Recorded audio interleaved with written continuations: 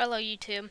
I'm going to show you this really cool matrix um, matrix matrix rain bat file.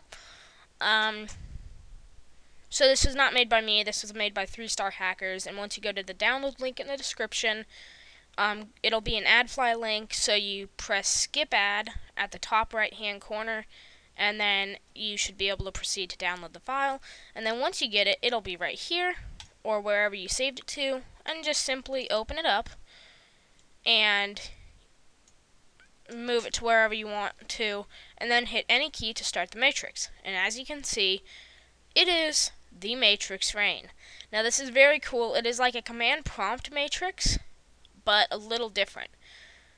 So basically this is what it looks like and it'll go on forever and it's really cool and I love it so, let me show you what it basically consists of. So anyways, if you want to edit this file, then go ahead and right click it and press edit. And then you here's all the crud.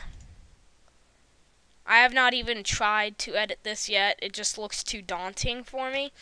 But I'm sure you guys could do it.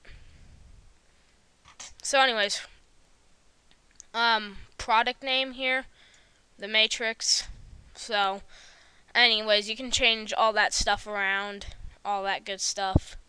Um, so, anyways, that is the matrix command prompt um, program, batch file.